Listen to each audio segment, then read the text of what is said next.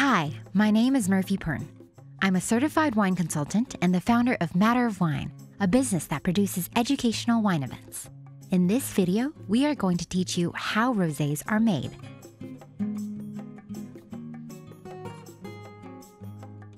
We'll begin by discussing the most common way of rosé winemaking short maceration. First, the grapes are harvested and brought to a winery. Then, machines are used to crush the grapes, producing a liquid mixture of grape juice with skins, seeds, and pulp called a must. At this point in the process, the winemaker includes the skins of dark grapes in the fermentation vessel.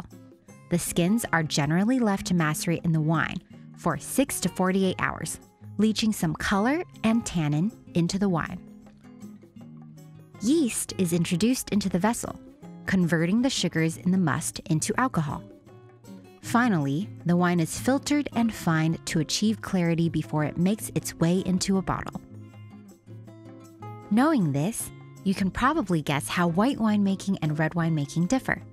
In white winemaking, the skins of dark grapes are separated from the must so it doesn't get any color from them. In red winemaking, the skins generally macerate for a longer period of time, one to four weeks, to impart more color and tannin into the finished wine.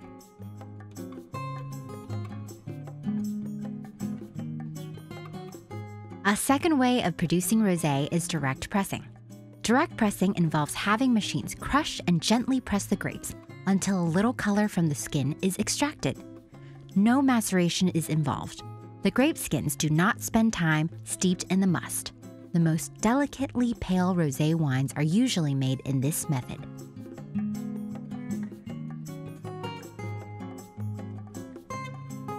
A third way of rosé winemaking is the Saignée method. While red wine is fermenting in a vessel, some of the juice is siphoned off of the tank early in the maceration process.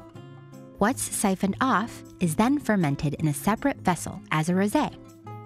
As this leaves the red wine fermentation tank with more grape skins and less juice, it can now be fermented into a more concentrated, darker wine.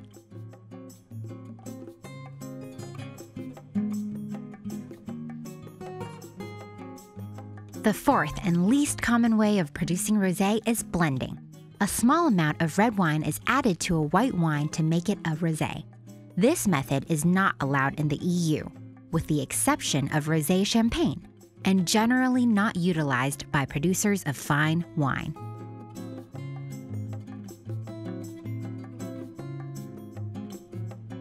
In recent years, rosé wines have started to experience a real boom with worldwide consumption increasing by over 20%. In the US, this figure is over 40%. If you're interested in rosé, now is the time to dive in, as more and more rosés from around the world are becoming easily accessible. Thank you for exploring rosés with us. My name is Murphy Perng of Matter of Wine, and I'm here to answer all of your wine how to's.